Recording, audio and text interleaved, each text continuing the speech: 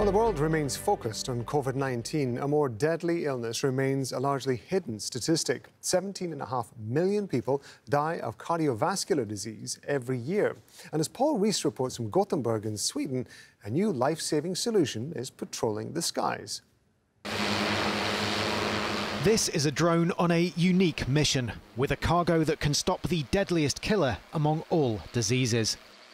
Sweden's emergency services are the first in the world to use drones to dispatch defibrillators, a crucial intervention during sudden cardiac arrest. When somebody's heart stops, this can help get it started again. So by the time an ambulance arrives, it's not already too late. Stand clear of patient.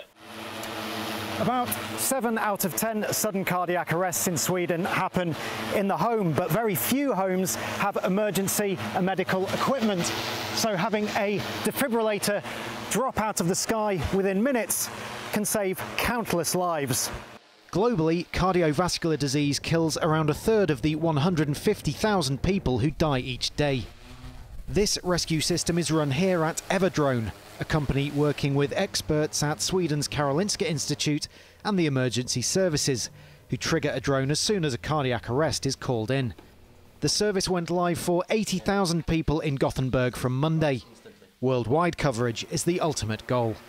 90% of all people suffering from cardiac arrest die. We need uh, people providing high quality CPR and we need a defibrillator on site within the first minutes. For each minute that passes by, some 7 to 10% uh, decrease in survival. So after 10 minutes, 12 minutes, uh, there's almost no chance of surviving a cardiac arrest. 73 year old Lars Beck is one of the lucky ones from the pre drone days.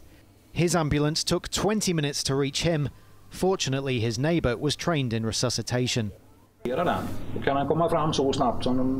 the drone can arrive so quickly is phenomenal, especially for those who live far away.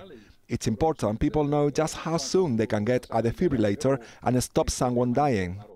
Our part in this is to supply the emergency response uh, organization with more tools to respond to an emergency in a faster way. That's a fantastic thing about it, that uh, we're actually deploying a drone system that can start saving lives as of today.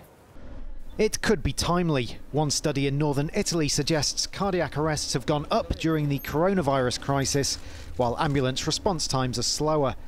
But even without the impact of COVID 19, Help from above could flatten the curve of a disease that was with us long before the pandemic and which is not about to go away. Paul Rees, Al Jazeera, Gothenburg, Sweden.